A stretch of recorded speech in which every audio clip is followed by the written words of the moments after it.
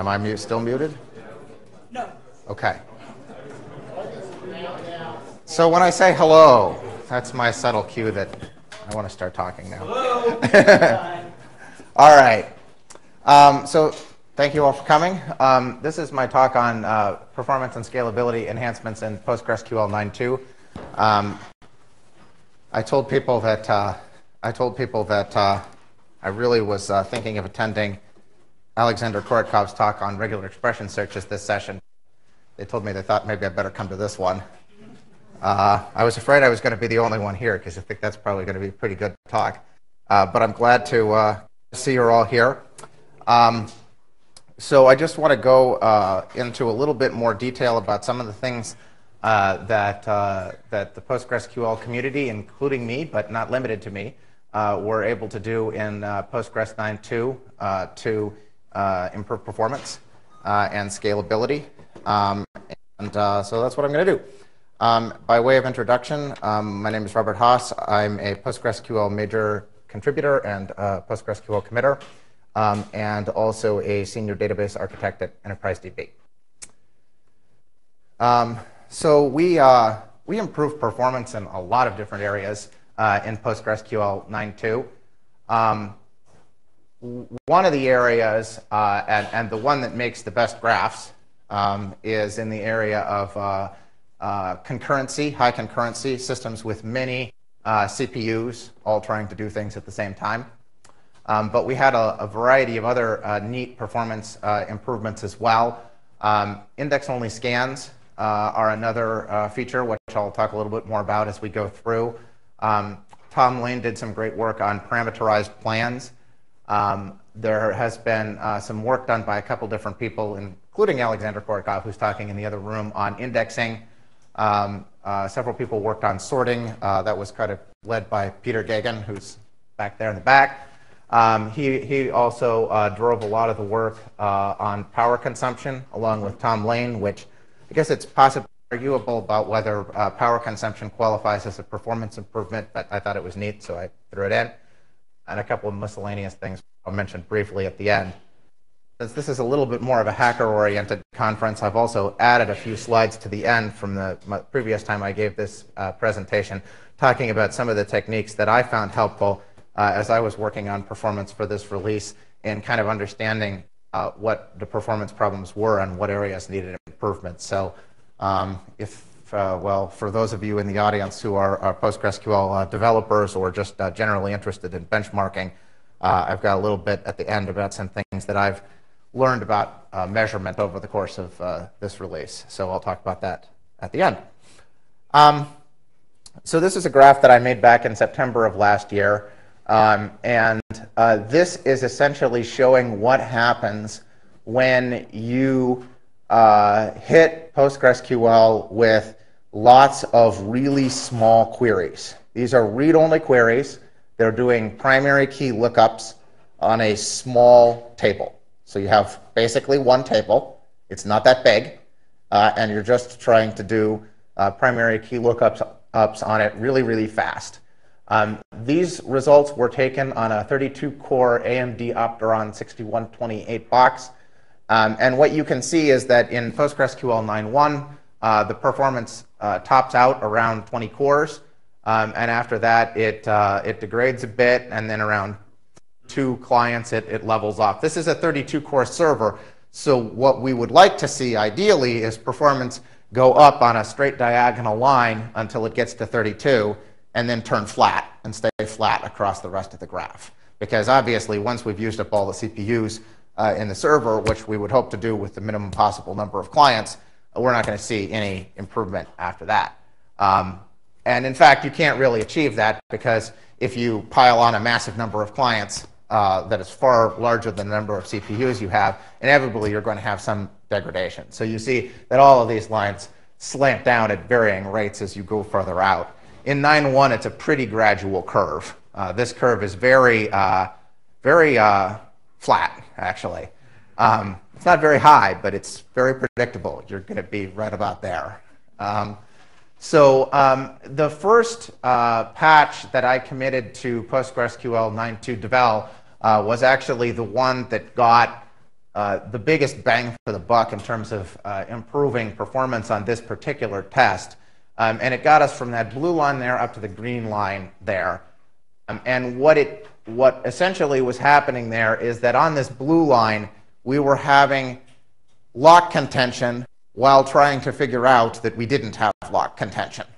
So all of these different threads were trying to access the same table and the same index on that table at the same time. And so they all needed to lock the table, but not in a way that conflicted with each other.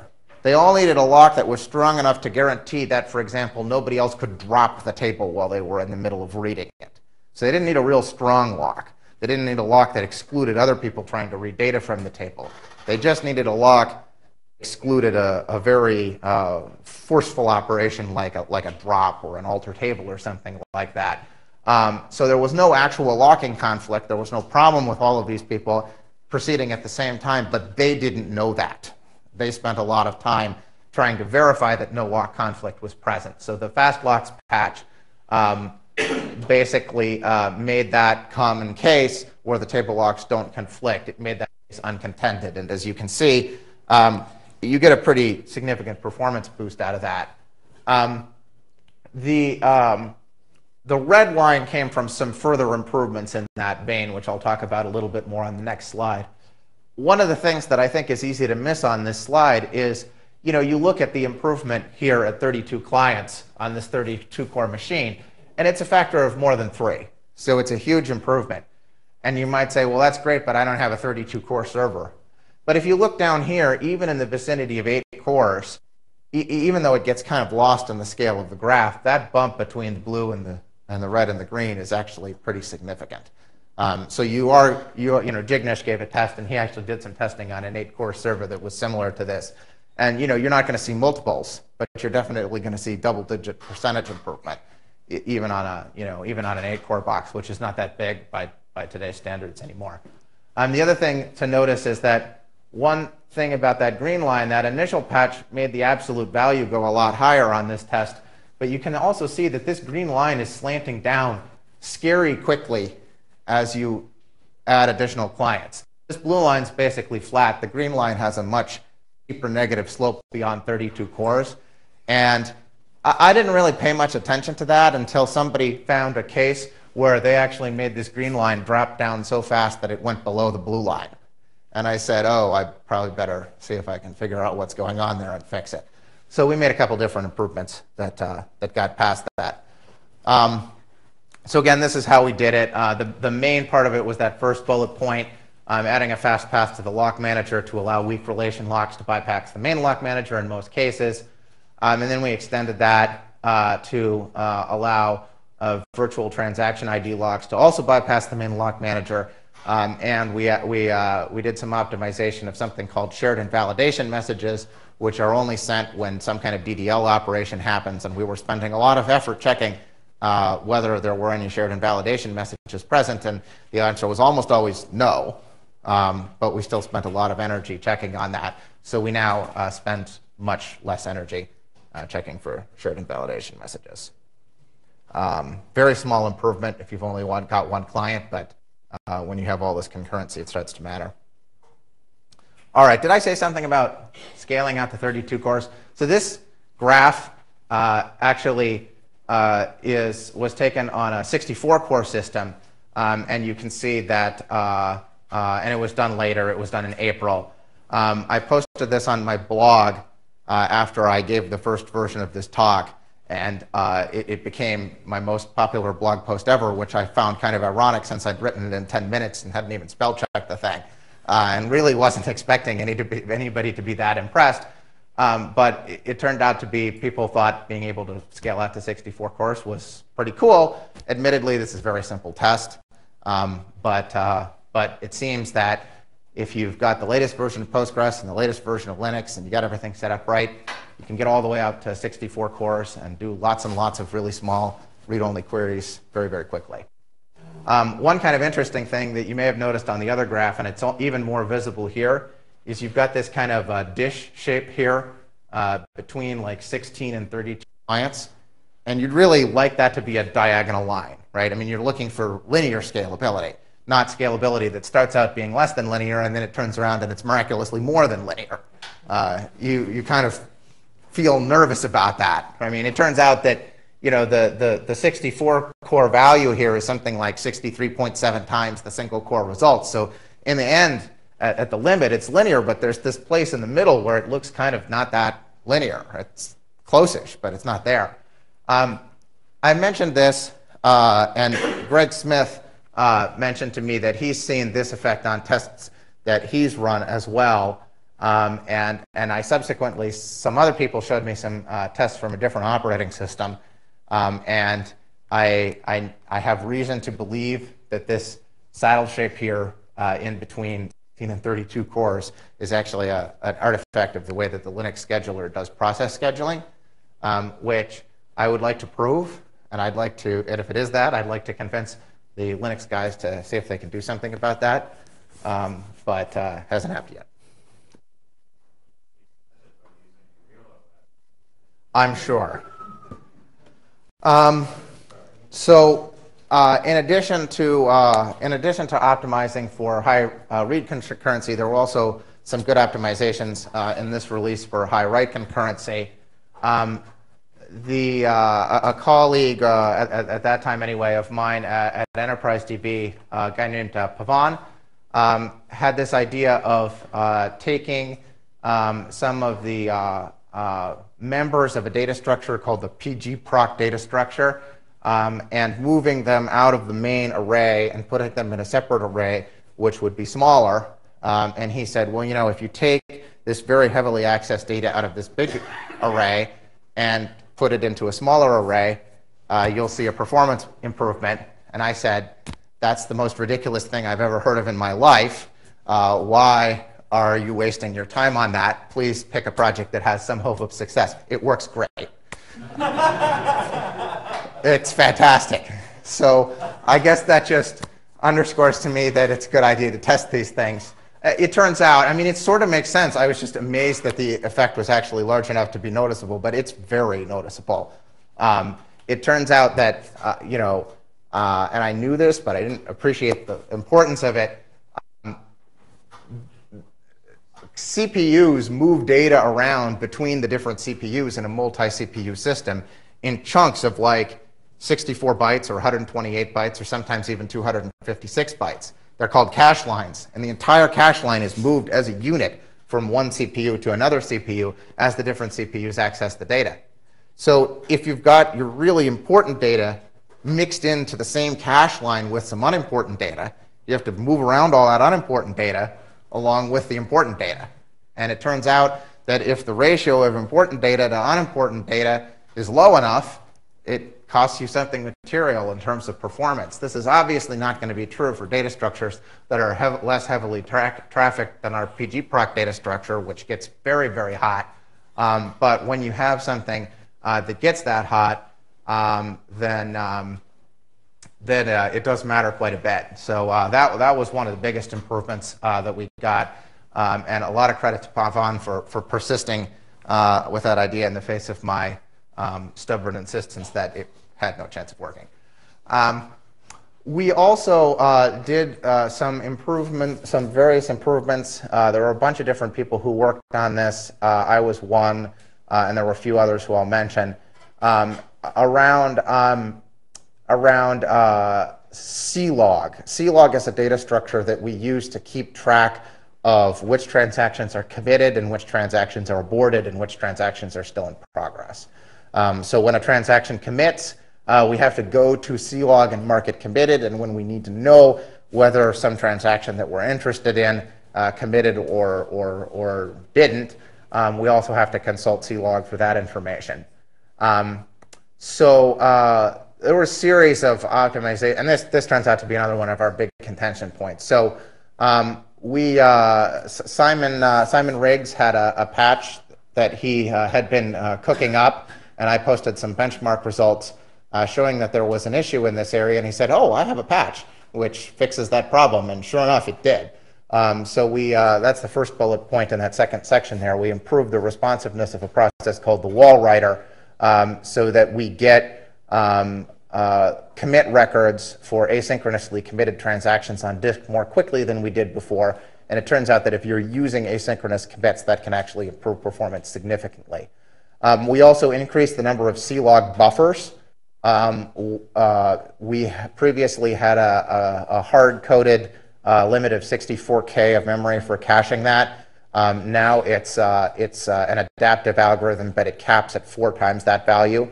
Uh, so there's more memory available for this cache, which does help. Um, we fixed uh, what I would consider to be pretty much a bug in the SLRU buffer replacement algorithm, which could cause the whole system to grind to a halt with everybody waiting on an I.O. to complete when that I.O. was basically irrelevant to what anyone was actually trying to do. Um, so we fixed a bug in that algorithm. Uh, we eliminated some redundant C-log lookups during index scans. Um, Simon and Peter and Heikki uh, all worked on uh, improving the piggybacking of, uh, of WAL flush, which results in better uh, group commit behavior. There was a talk on that earlier today, so I won't uh, belabor the point uh, too much. Um, but that was a very, uh, a very significant improvement uh, for certain cases. Um, and uh, we also had an optimization to reduce the volume of write-ahead log information generated when you copy data into a table, um, which was done by my colleague Heikki. So this doesn't, this graph here doesn't uh, reflect uh, all of those things, those optimizations. Uh, the results were done in February. This has got the main optimizations in it. It doesn't show the benefit of the group commit because this uh, was done with asynchronous commit. Um, but you can see, mostly because I have a slow disk subsystem on the machine I was using to benchmark this, and I don't have a flashback write cache or anything like that. Um, but you can see that, uh, that the throughput of the system is not linear um, but it is better. Um, so you can see that between 9.1 and, and this uh, oh, in, in, process, in process version of 9.2 that I tested, um, you know, at, at 24 clients or 32 clients, you have you know something close to a, a 50% uh, improvement on this. This is just a straight PG bench test. Uh, median of 330 minutes runs to kind of average out the noise, um, and uh, and uh, clearly, we still have a way to, to go, ways to go uh, before we really get this to scale linearly, um, all the way out to as many CPUs as you can afford to buy. Uh, but we're getting there. I think we made some good progress in this release, and hopefully we'll, continue to uh, nibble away at it. And uh, an extra few thousand transactions per second is pretty nice. This graph is uh, commit scalability. So this is showing the effect of the work on uh, that was done on group commits. Um, I had a little trouble replicating this with uh, stock PG Bench. Um, so this is uh, a test that uh, Peter pointed me at. It basically just does a single insert in a transaction by itself. Um, so it's the maximally commit-bound workload uh, that you can come up with. Um, so you are unlikely to see this much benefit in a real-world use case. But on the other hand, this really does show you how much better uh, the new implementation is than the old implementation. Um, this green line again is, is 9.1, and uh, this red line is PG 9.2 as of March, and I don't think much has changed uh, in this picture since then. So you can see that uh, you know down with uh, with smaller numbers of clients, things are mushed together here at the bottom end of the graph.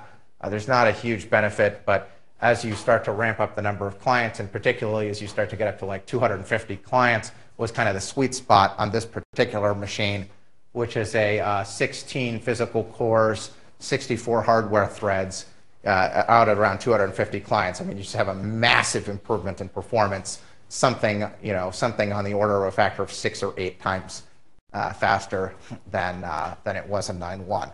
Um, so that's definitely uh, that's definitely pretty. Um, let me ask if there's just any questions on anything that I've gone over so far before I sort of plunge into the next section. Questions? Okay. Either that was very clear, everyone's asleep. Okay, um, index-only scans, uh, another uh, major performance feature uh, in 9.2.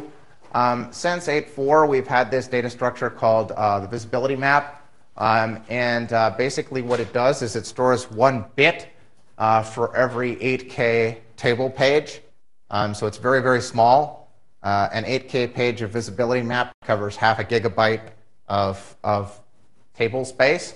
Um, and the visibility map bit is set uh, only if we know that every tuple on that page uh, is visible to all current and future transactions, at least until somebody modifies the page.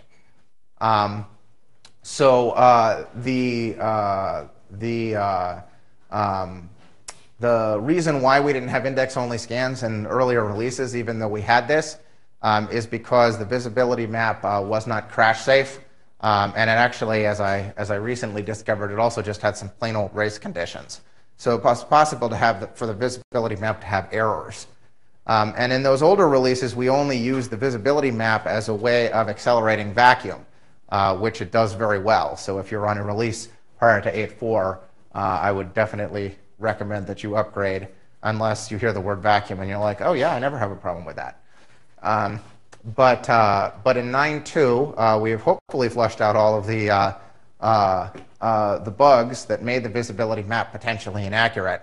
And that means that we can use it uh, not only for vacuuming, which, where it's not a disaster if we occasionally fail to vacuum something that we should have vacuumed, or, or even less of a problem if we occasionally vacuum something that we didn't really need to. Um, it means we can actually use this for answering queries where we really need to be sure that we are going to only give people right answers all the time. Um, and uh, so the idea is pretty simple. Uh, if all the data we need to answer the user's query is available from the index tuple, then instead of reading the table page, we just probe the visibility map. And if we find that the page is all visible, um, then we don't actually need to read the table page uh, we can just return the, the data directly from the index tuple because we know that that, uh, that, that uh, tuple is going to be visible to our scan. Uh, but if we find that the page isn't all visible, then we have to go check because it could be that that tuple was inserted by a transaction that aborted, uh, or it's recently been deleted, or it's recently been inserted and it might not be visible to our MVC snapshot. Um, so this is optimizing for a pretty common case where you have a table that's fairly static, right? If you have a table that's very, very heavily updated all the time, um, you're not going to get much benefit from index-only scans. Uh, on the other hand, you, you may have you may have much worse performance problems in other areas. So uh, we'll see how this works out. I think know this version of index-only scans. Um, I think it's definitely a big step forward over uh, what we've had in the past. I also expect it to need fine-tuning over the next couple of releases before we really get it to do all of the things uh, that we'd like it to do. Um, so here's an example. Uh, this is a test case that I whipped up on my trusty MacBook Pro here. A high performance machine, I assure you. Um, it's got four gigabytes of RAM. I usually set shared buffers to 400 megabytes, mostly because it ends in two zeros and I like round numbers. Um, I uh, initialized a uh, grossly oversized PG Bench instance. Uh, uh, scale factor 1000, um, which is uh, far too large to test with comfortably uh, on a machine with only four gigabytes of RAM. Um, and I ran a, a five minute I ran a five minute select only test with eight concurrent workers. Um, and it's just banging it with read only primary key lookups using the primary key index on the table. Um, then I created a, a, covering index. I created a second index on the table alongside the primary key index that includes not only the column that is being used to look up the value, but also the column that's being returned. So this query is select A balance from PG bench accounts where AID equals some value. So I put both AID, which is what we're using for the lookup, and a balance into this second index. Um, and interestingly, I found out that the two indexes were exactly the same size. The single column index and the two column index were the same size down to the byte. They were each 2,142 megabytes, uh, which uh, conveniently enough is smaller than RAM, uh, whereas the size of the whole data set is larger than RAM. So the idea here is here is I'm setting up a test case where hopefully by only needing to access the indexes, um, I'm able to fit the entire test case in memory Whereas if I had to access the table, I would have to go to disk, and things would presumably be much slower. So what happened? Well, it was about five times faster. Um, with the default PG Bench configuration, I got 63 transactions a second. Uh, with the covering index, I got 302 transactions per second. Um, now, the thing about index-only scans uh, is that I've seen widely varying test results with this, ranging from people who said, this hardly helped me at all, to one case where uh, Tom Brown said, yeah, my test case was 700 times faster. Um, I think he had a test case where the index fit in shared buffers, and the table didn't even fit in RAM. Um, so, you know, the, the, as with many of these performance improvements, you know, some people are going to see massive gains, other people are going to see no gains at all. You might even be one of the really lucky people who hit some kind of regression and it's actually slower. Um, but, uh, but hopefully not. Bruce? Um, it, just, it just struck me that this is the third case in this release where having information in a more condensed form is giving us a performance improvement. In the first one you mentioned was the use of the visibility map to avoid C-log lookups. The second one was the PG prop. Yeah, that's true. Uh, moving, and so it fit all on one cache line, and then we got this index scan thing where we're doing the same kind of thing. I don't know if there's another like you know lion sitting in there somewhere, but it, it's just it's just kind of interesting. It's a pattern I did not realize. Fair enough. Okay. Um, so yeah, uh, you'll see widely varying indexes, it, widely varying results in this depending on exactly how you test. Um, you know, my traditional advice to people when I give my query planner talk is indexes are slower than you think they are, and I think that uh, I think that advice probably still applies. Um, but now we at least have the potential for somebody to make a covering index and have that help, which had zero chance of working in any previous release. So that's kind of cool. Yeah. You mentioned that, uh, that until 9.2, the, uh, the app was not crash safe. Yes. This, uh, what was the, what was the nature of the, uh, I'm wondering, this is, this is what I'm wondering.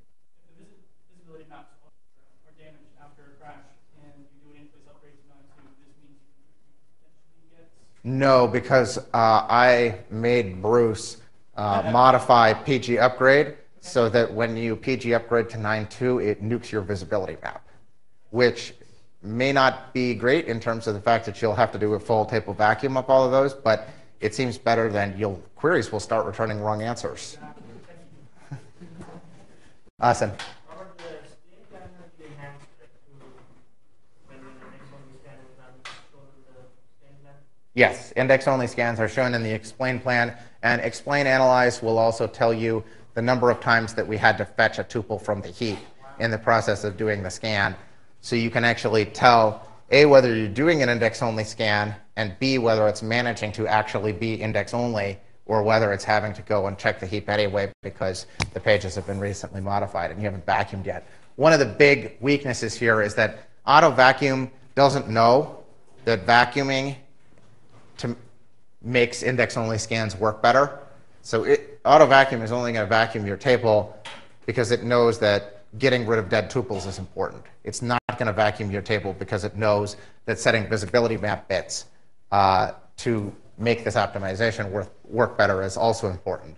So if you're relying on index-only scans, I'm a little concerned that we may find that people say, oh, I've got to schedule manual vacuums in order to get the benefit out of this, uh, where that hasn't been necessary uh, for a few releases because of improvements in auto vacuum. Um, unfortunately, uh, nobody had enough round two to address that for this release. Yeah.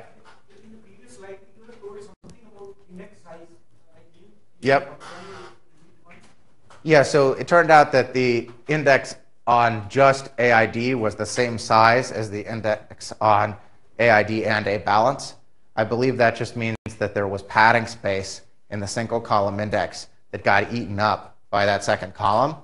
So we didn't actually really, we were just wasting, we were wasting some padding space when the single column index and One of the cases where the alignment uh, allowed it to be size, but in some other cases, it might be that the index size uh, will be different when we add. Oh yeah, I, I, I, I think one of the other things that's going to cause this to not work for some people uh, is the fact that adding more columns to the index makes them bigger, and this is a, been a huge pitfall of every uh, Postgres release in memory is that you know if you make your index bigger than your table in the worst case, uh, then you know scanning the index doesn't necessarily save you that much uh, over just reading the data out of the table.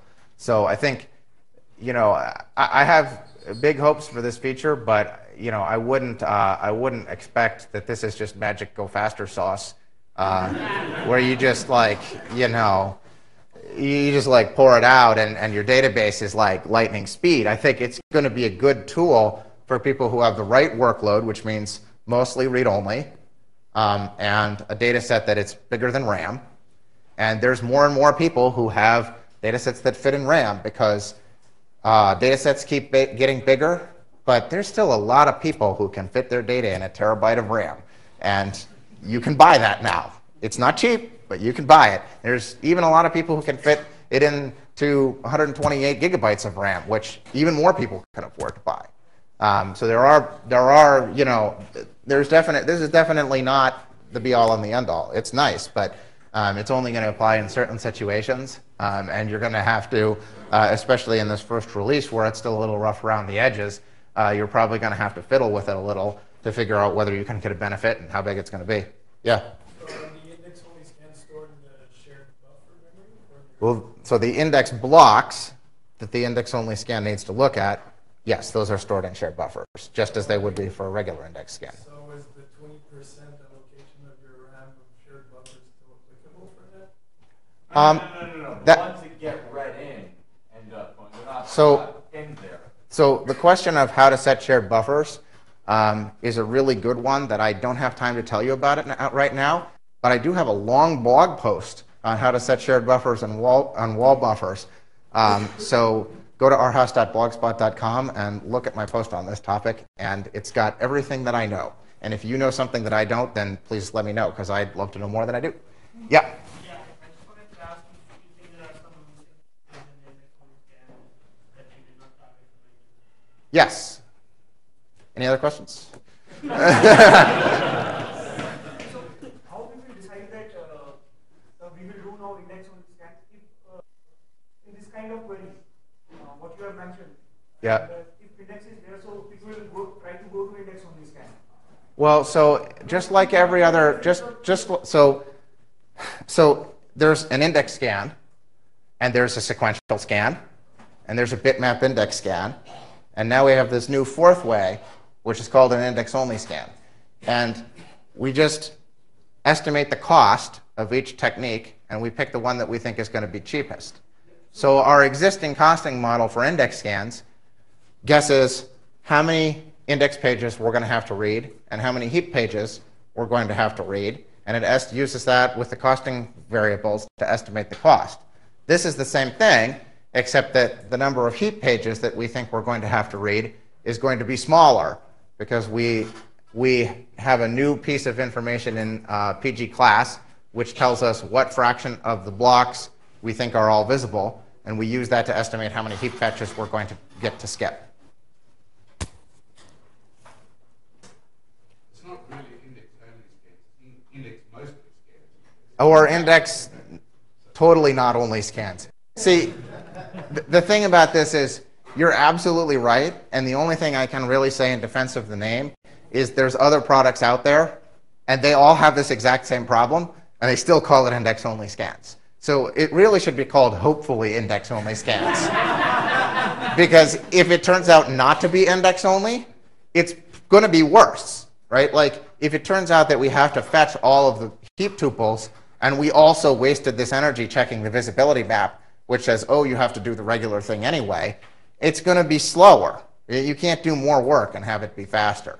Um, so, uh, you know, I, I think uh, I think this is where, uh, as we get some experience with this technology, we'll be able better able to adjust the costing model to figure out which cases this is going to be this is going to win and where it's going to lose, and hopefully patch up some of the cases that lose right now and make them win later.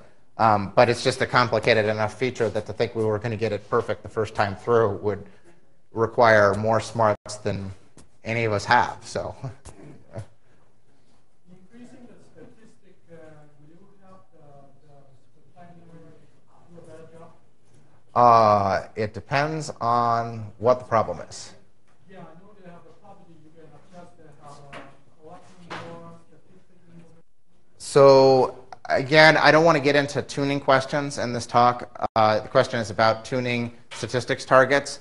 Um, I have a query planner talk where I talk about that kind of stuff, but that's not this talk. So I'd be happy to talk, catch up with you afterwards.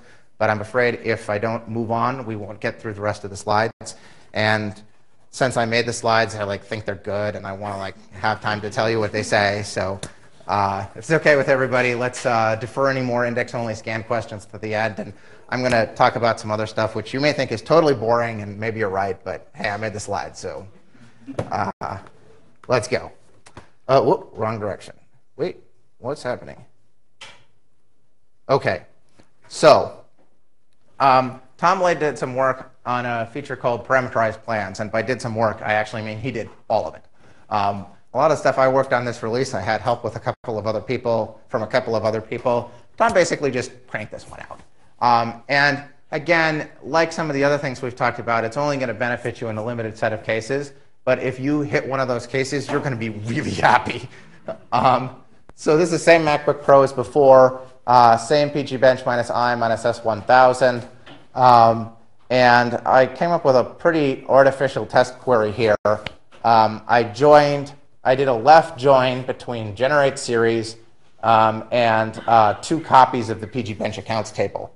Um, so what this is really intended to represent is a left join between a small table, which in this case is generate series, so it's a 10 row set returning function, um, and two large tables that are joined to each other. In this case, it happens to be the same large table joined to itself for the sole purpose of making the query planner have to think harder. Um, but in general, it could be any two large tables joined to each other. The important part is that you've got an inner join under the nullable side of a left join. Okay? If you don't know what that means, you probably don't have this case. Um, but yeah, so if you have a left join, and then on the nullable side of it, which means the, the, the, far, the side that's farther down in the query in this case, you've got another join happening inside there. Maybe you have this because you have a view that does something like this, um, or maybe you just have a big complicated query. Um, then uh, in earlier releases of Postgres, the only way that we could execute this query, join the two big tables to each other, and then do the join to the small table after we joined the big tables. And that turns out to be slow because joining big tables to each other so that you can pull out a very small fraction of them is not efficient. Um, so Tom uh, rejiggered some things so that now what we can do is instead of doing the join between the two big tables once and joining the entirety of the two tables to each other, we repeatedly join very small subsets uh, of the big tables to each other and pull out just the information that we need. Um, and so on this, uh, you know, this somewhat artificial test case, but I think it actually is representative of the kind of, impro- of uh, improvement you'll see when this kicks in in real world situations. On 9.1, uh, this takes repeatedly takes uh, about four minutes and 10 seconds to execute on my laptop. On PG92, the first execution took 580 milliseconds, and then after that, it took about one. So it was a little faster. Um, so yeah, if you if you have these kinds of queries where you're hurting because you don't have this optimization, this is huge. The reason why we haven't had this optimization sooner, of course, is because a lot of people don't have these kinds of queries. So that's why this is the case that got fixed last, right? Not a big surprise there. But boy, if you have it, this is huge. Um, so here's the plan in 9.1. Um, we basically do a full index scan of both tables, do a merge join between them, and then do a merge join to generate series. Eh, not very good. Um, in 9.2, um, we scan the output of the set returning functions, and then that drives this nested loop here where we repeatedly index scan each of the relations. So in the first plan, we end up reading the entirety of the big table twice, or the entirety of both big tables if we do separate big tables. In the 9.2 plan, we just pull out the rows that we need surgically and just ignore all of the rest of that data. So it, it's a lot faster. Um, we've had some miscellaneous improvements uh, in indexing. Um, one of them, which I've actually seen come up in the field, is if you have an expression of the form some index column operator usually equals any array blah blah blah. Uh, we could not previously handle that with a plain index scan. A bitmap index, you could get a bitmap index scan for that plan, but not a plain index scan. Um, and it turned out that there were cases where that sucked. Um, so uh, Tom fixed that. Now you can get a plain index scan. Um, we've got better selectivity estimation now for some of the array operators, overlaps, uh, contained, is contained by. Um, we've had a number of improvements to GIST indexing. Um, GIST indexes now build more quickly than they did before, and they're of better quality. B-tree indexes don't really have a problem with quality. I mean, when you make a B-tree index, you basically just take all your data and put it in sorted order, and that's it. But GIST indexes are used for things like spatial indexing, where the way that you index your data is you try to group it together and put bounding boxes around points that are in the same region of space and put all those data elements on one page. So that's, kind of, that's the kind of thing that humans are good at and computers kind of suck at um, because it's hard, right? I mean, if you have a random set of points and you have no knowledge about how they're distributed and you have to figure out the most efficient way to group them into related areas, um, and especially if you have things that are more than a single point, like you have circles or lines or polygons or something, and you have to figure out a set of reasonably typed bounding boxes that are going to allow you to answer qu- queries efficiently, that turns out to be kind of hard to do. So we've had some improvements uh, in the algorithm that not only decrease the index build time, but also tend to result in a better quality of index where you have to do less groveling around in the index to determine whether or not your key that you're searching for is actually present and, and what pages it might be on. Um, so that's definitely cool. Um, and we have a new uh, index type as well called SPGIST. Um, that's pretty much everything I know about it. Um, it I know slightly more about it than that, but not much. SPGIST, uh, GIST in general can index anything. I mean, if you can imagine it and you can think about how to index it, you can index it with GIST. Um, SPGIST is a more specialized thing for indexing uh, things that sort of occupy a particular point in space. So, like you can use GIST to index lines or polygons or circles or points. SPGIST, you can index points because a point doesn't have any dimensionality to it. Um, it can also be used for some uh, text searching applications. Um, I have not yet been able to demonstrate a performance improvement in the text searching case over uh, a B-tree. Um, so I think maybe there's more work to be done there, or maybe that's just not really what this is intended for. Um, I've heard that if you have the right cases, uh, this is pretty cool, but unfortunately, I don't know what they are. Yeah.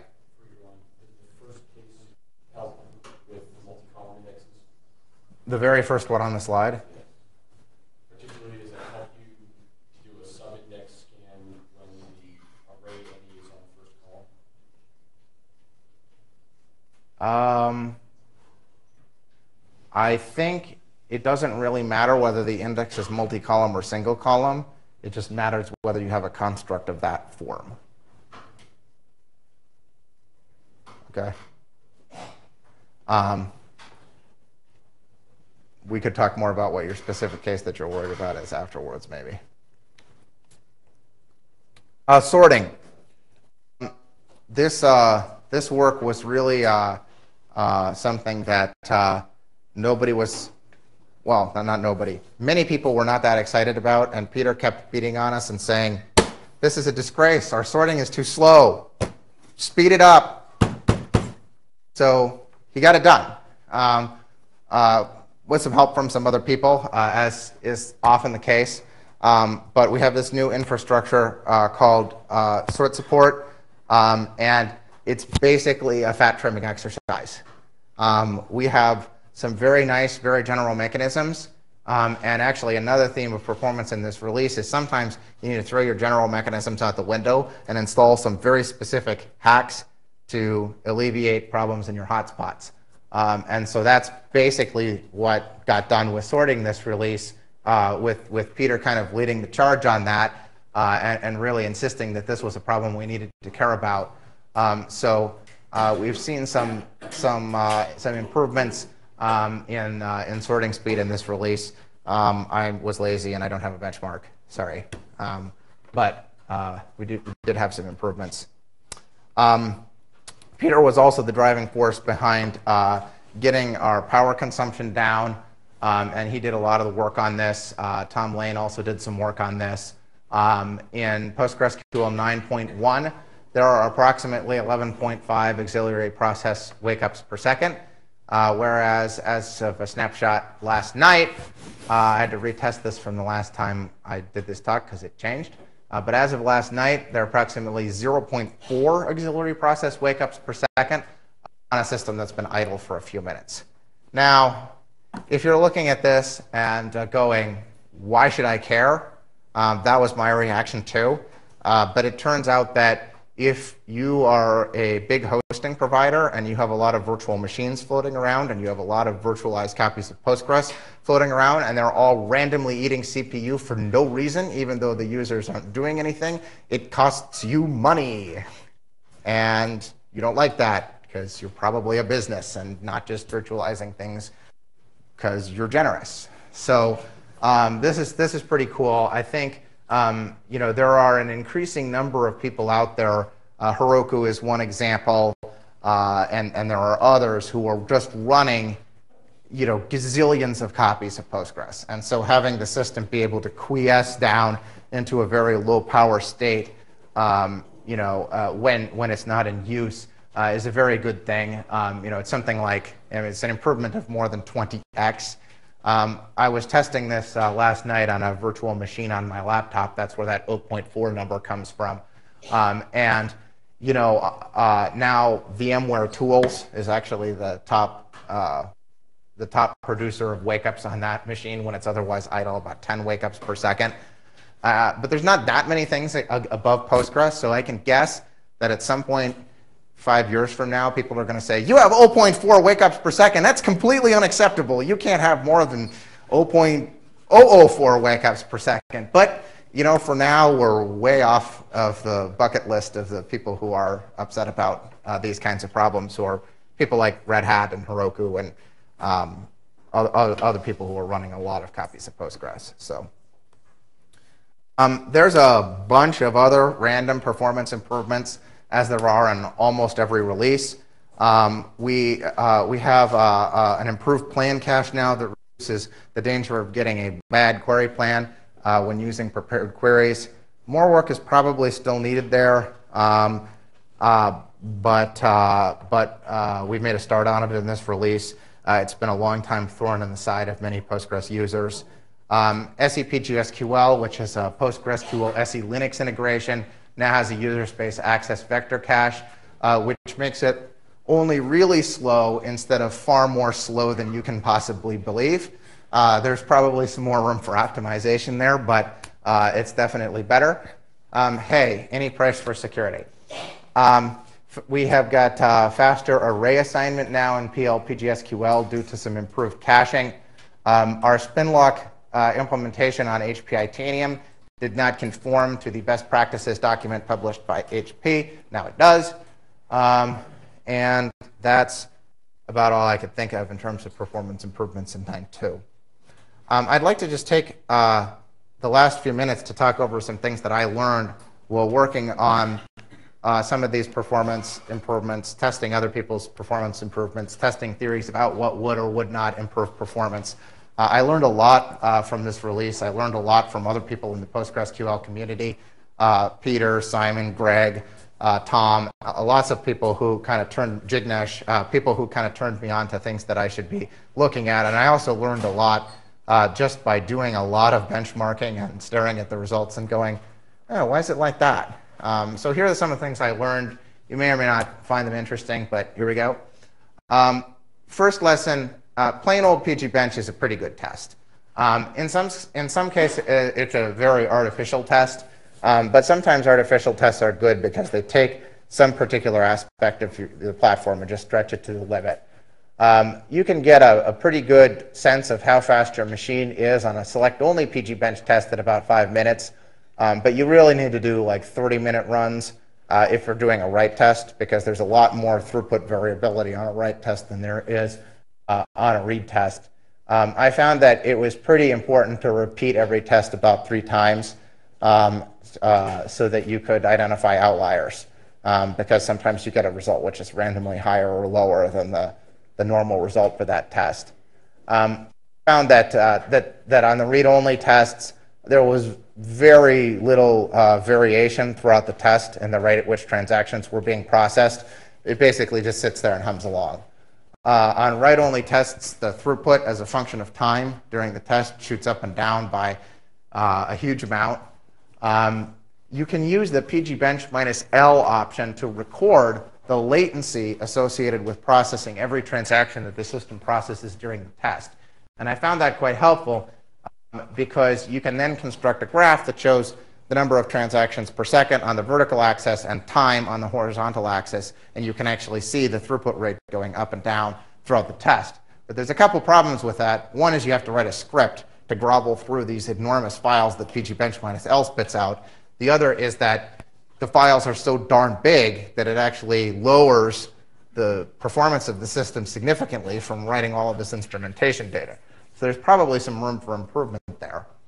Um, there's a source level option called LW lock stats. Uh, if you turn it on, uh, it dumps out all of this information, showing you uh, information about LW lock acquisitions and contention. Uh, I found that very helpful. I also found it uh, even better uh, if I counted how many times I had to spin to acquire the spin lock protecting each lightweight lock. Um, for those in the audience who are not hackers, lightweight locks are uh, a sort of fixed size set of locks that we use to protect shared memory data structures uh, in Postgres. Uh, they have a shared mode and an exclusive mode, and their protect and their internal state is protected by a spin lock. Um, if you need to wait for a lock, you sleep using a semaphore. Um, so lightweight locks are actually where most of our contention problems are, and unfortunately don't have a good set of user visible tools uh, to really let you know where this contention is happening. But uh, the LW lock stats then you can turn on for debugging purposes to kind of help track it down. Whoops. Um, slide. Um, I found that CPU profiling via gprof or oprofile is useless because they have too much overhead. oprofile has a lot less than gprof, and it's still way too much. Perf, on the other hand, is a new Linux tool, and it is awesome. It has very low overhead, almost no overhead um, which is amazing. I have no idea how it's possible to gather call graph information on a 64 core system running full tilt uh, without slowing the system down, but apparently somebody else is smarter than me because it works. Um, uh, the, the, the big problem with just plain old perf record is that it's not a really great way to measure scalability because typically when Postgres isn't scaling well, it's because you've got lock contention and threads are going to sleep asleep, they're not using CPU time, so a CPU profile looks exactly the same as it would if you didn't have a problem. Um, so you can't really find anything that way. Um, context switch profiling is better. If you do perf record minus ECS minus G, you can actually see which call paths are causing the system to go to sleep, and that tells you where your lock contention is.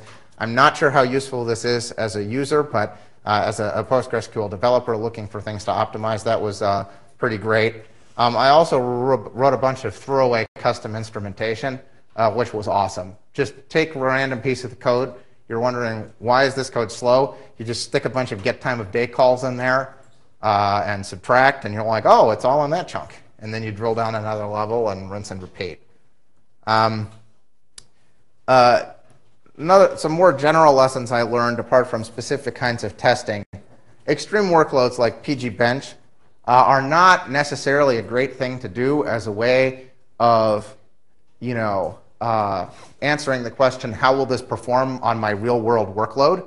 Because it's an artificial, extreme workload in some particular way. Not necessarily the most demanding workload, although P- write, write only PG, write, writing pgbench test is pretty extreme in terms of I/O um, often the results will be worse than what you're really going to, much worse in some cases than what you're going to see on a real world application.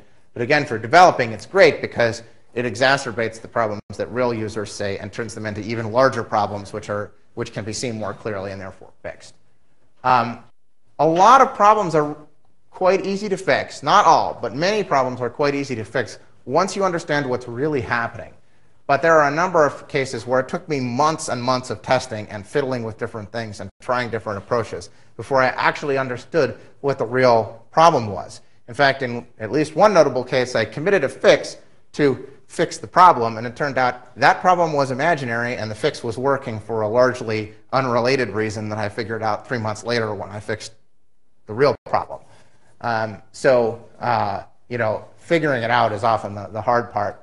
It's very useful to measure system performance along multiple axes, not just TPS, although that's useful, but also latency, frequency of lock contention, duration of lock stalls. You find different problems when you look at system performance in different ways.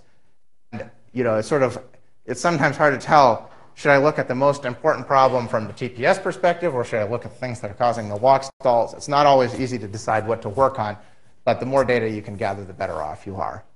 Another kind of interesting developer level thought is that these LW locks we have, I'm starting to have a feeling that they're actually very poorly suited to many of the synchronization tasks that we need to do inside of PostgreSQL. I don't yet really have a theory on what would be a good replacement for them. So what's next? Um, well, buffer replacement is still mostly single-threaded. Um, I don't have time to talk about this because I'm like out of time. Um, but there's a graph on my blog uh, in one of the older posts that actually shows it pretty clearly. You get much better scalability if your workload fits in shared buffers. Scalability deteriorates significantly when your workload does not fit in shared buffers. Um, WAL insertion is single threaded. This gets particularly nasty just after a checkpoint. I'm thinking this is something that's going to get fixed in 9.3 since Heikki's been cooking on a patch. Um, on a busy system, fsync can take an amazingly long time to complete, like 10 seconds sometimes, to fsync a really small file.